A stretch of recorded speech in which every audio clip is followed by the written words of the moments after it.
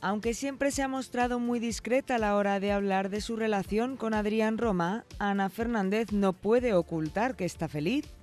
La actriz sin duda ha vuelto a recuperar la ilusión cuando a principios de año surgía la chispa entre la intérprete de 26 años y el vocalista del grupo Marlon.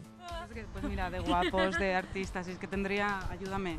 Bueno, mm, no sé, yo creo que la gente buena al final encuentra gente buena. Independientemente de eh, los físicos o las profesiones, creo que, que es, es, guay cuando tú te consideras una buena persona encontrar a otra buena persona. Eso es bonito y sobre todo que te haga reír, que para mí es lo más importante del mundo.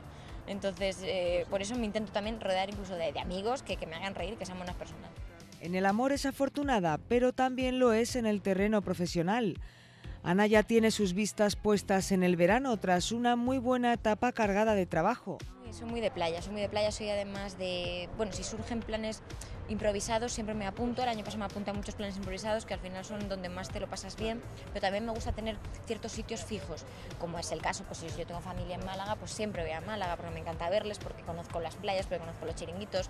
Además nos ha revelado que próximamente iniciará una nueva aventura como bloguera donde nos contará su mundo, sus experiencias y sentimientos.